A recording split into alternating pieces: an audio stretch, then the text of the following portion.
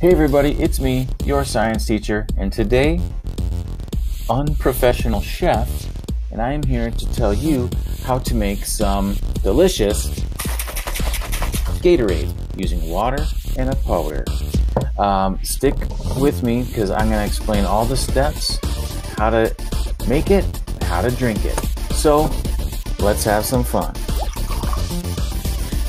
For this recipe, you'll need some water, a Gatorade packet, and something to mix it in.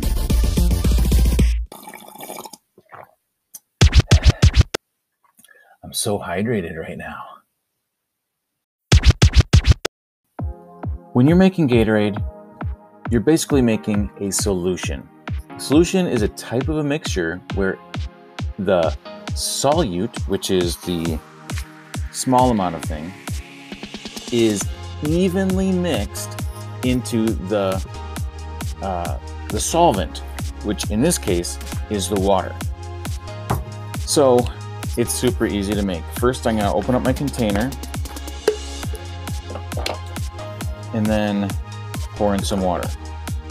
Now, the amount of water you add will change the concentration of the final solution.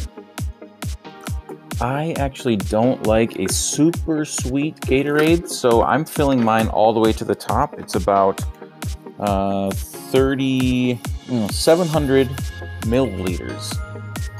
700 milliliters of water. Uh, and then I'm going to take my Gatorade powder, the solute, pour it in. And then right now, it is not evenly mixed uh, there's uh, higher concentrations of powder in here.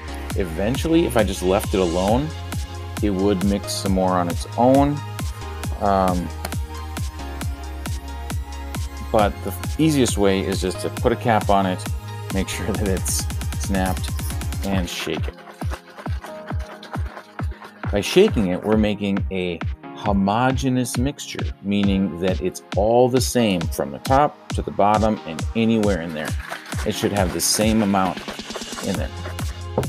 So now we have a solution.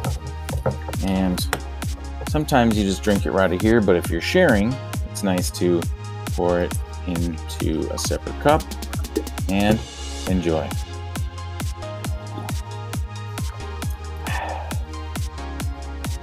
Nice. Ready to take on the world.